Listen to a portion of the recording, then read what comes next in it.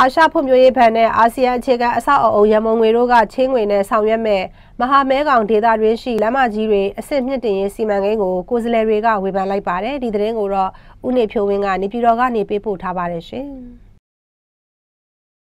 ဆောက်လုပ်ရေးဝန်ကြီးဌာနကမဟာမဲကောင်ဒေတာရင်းရှိလမ်းမကြီးတွေဖွံ့ဖြိုးတိုးတက်ရေးစီမံကိန်းအတွက်အာရှဖွံ့ဖြိုးရေးဘဏ် ADB နဲ့အာဆီယံအခြေခံအဆောက်အုံရန်ပုံငွေတို့ကနေအမေရိကန်ဒေါ်လာတန်360နဲ့ရန်ကုန်ပသိမ်လန်း ပဲခူးတန်လင်းလန်းနဲ့ရန်ကုန်မန်းလေးအမြန်လမ်းမကြီးတို့ကိုအစစ်မြစ်တင်ဆောင်ရွက်သွားမှာဖြစ်ပါတယ်။ရန်ကုန်မန်းလေးလမ်းမဖြစ်တဲ့ရန်ကုန်ဘောနယ်ကြီးတီဟာမကြာခင်ကပြင်ထားတဲ့လမ်းမဖြစ်တဲ့အတွက်အခုလိုချင်းငွေနဲ့ထက်အဆက်မြင့်တင်မှုလုပ်တာဟာဘဏ္ဍာငွေအလေးလွတ်ဖြစ်စေတယ်လို့ကိုယ်စားလှယ်တဦးကပြောပါတယ်။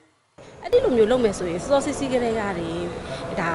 ဟိုနေချင်းညချင်းဆုံးဖြတ်ပြီးမှဒီရှင်းငွေကိစ္စပေါ်လာတာမဟုတ်ပါဘူးကျွန်တော်တို့နားလည်သလောက်ဆိုရင်လေဒါဆိုဒီလိုအစီအစဉ်တွေရှိတယ်ဆိုရင်ဒီချက်ပိုလိုအပ်နေတဲ့နေရာတွေမှာပြင်ဆင်မှုတွေအများကြီးရှိပါတယ်ဒါတွေမျိုးတွေကိုလှုပ်စေချင်တာပါ အခုကျတော့ကျမတို့ကဒီအပိုင်းကိုပဲတစ်ချိန်လုံးပြင်နေရတယ်နောက်ထပ်အဆင့်မြင့်တော့လည်းဒီအပိုင်းကိုပဲဘဏ္ဍာငွေသုံးရတယ်ဆိုရင်လက်တလောကျမတို့နိုင်ငံရဲ့ဘဏ္ဍာငွေအရှိန်တွေအရာဟိုလုပ်ငန်းလိုအပ်ချက်တွေအရာကိုဟာ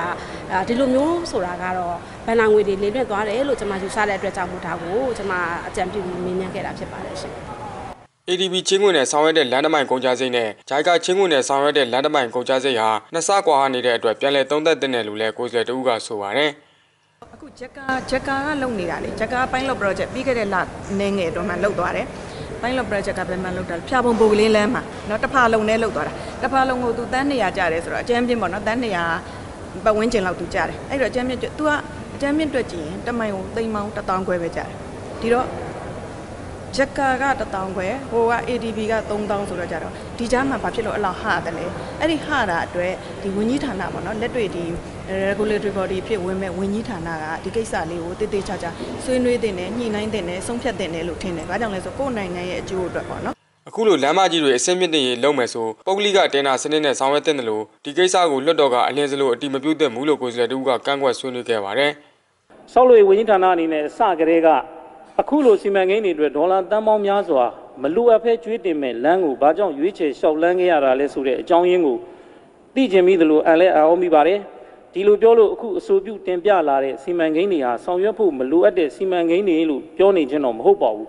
ကျွေးတင်ခံပြီးဆောင်ရွက်ရန်မလိုအပ်တဲ့စီမံကိန်းများသာဖြစ်တယ်လို့ထောက်ပြလိုရင်းပါဆိုရတဲ့မူဝါဒစီးပွားရေးမူဝါဒစနစ်ရဲ့မှာပုဂ္ဂလိကကဏ္ဍတိုးတက်စေရေးအားပေးမြင့်တင်သွားမယ်ဆိုတဲ့မူဝါဒတချို့ပါရှိပါတယ် အခုလိုပုဂ္ဂလိကကဏ္ဍဆောင်ရွက်နိုင်တဲ့ဆောင်ရွက်တဲ့အခြေခံအဆောက်အုံစီမံကိန်းတွေကိုနိုင်ငံတော်ကပြည်ပချင်းဝင်ရယူပြီးစီမံဆောင်ရွက်တာချမှတ်ထားတဲ့စီးပွားရေးမူဝါဒနဲ့မကိုက်ညီသလိုနိုင်ငံတော်မှာလည်းပြည်ပကျွေးမီဝင်တော့ဝင်ဖို့ထမ်းရမှာဖြစ်တဲ့အတွက်ဒီကိစ္စကိုပြည်တော်စုလွှတ်တော်ကြီးမှာအလင်းစလိုအတီမပြုတ်တင်ပဲအစိုးရလွှတ်တော်နဲ့ ADB တို့ကြားအခြေလဲပြန်လဲညှိနှိုင်းပြီးမှသာဆက်လက်ဆောင်ရွက်တင်ပါကြောင်းပြောကြားရဲဒီကုန်းချုပ်ပါတယ်အားလုံးကိုကျေးဇူးတင်ပါတယ်